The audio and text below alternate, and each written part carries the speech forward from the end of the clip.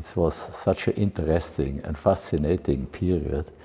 So uh, it might be that uh, if I start from uh, the back, that uh, the acquisition of Thorn was one of these uh, very interesting paths from a little company to a global operating company. So that's uh, from the development of the company itself. Second, I was always combined with interesting people. They burn for light. And so this is a very uh, important item that you have a profession where you can be happy with what you are doing. So in this respect, it was a very interesting time.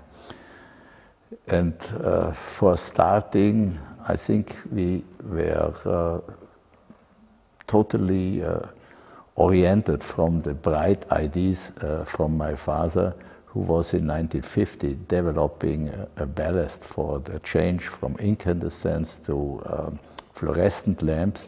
And this ballast was using much less energy, means electrical energy, and using less material.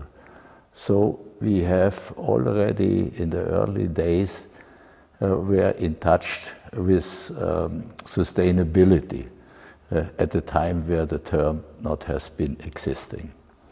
Uh, beside uh, all this uh, global orientation, it was very important uh, to have a, a, credo and a policy in the company where you can fascinate the people who are working with you.